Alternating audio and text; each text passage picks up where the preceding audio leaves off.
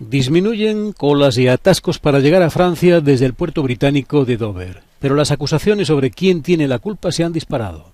El tráfico entre Dover y Calais en los fines de semana del verano llega hasta los 10.000 vehículos diarios. El ex embajador británico en Francia, Peter Ricketts, cree que los controles extra por culpa del Brexit son el principal problema. Es la primera vez que tenemos todo el volumen de salidas de vacaciones de los británicos en las nuevas circunstancias después de salir de la Unión Europea.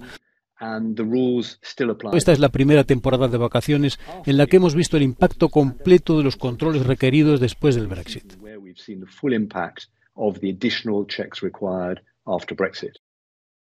En este tuit, la diputada del Partido Conservador Nathalie Elphig asegura que los franceses deberían pedir disculpas a los residentes de Dover por lo que llama innecesario caos vacacional al inicio de la escapada de verano.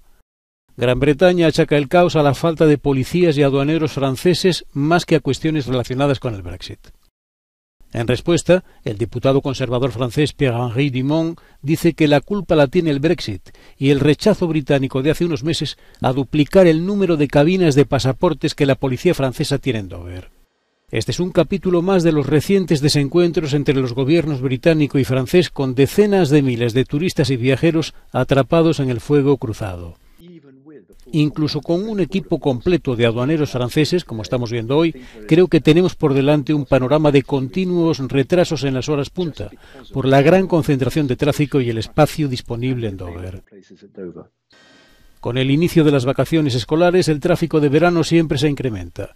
Sin embargo, esperar más de 10 horas en lo que una organización automovilística británica denominó punto caliente del infierno de las vacaciones no es nada normal.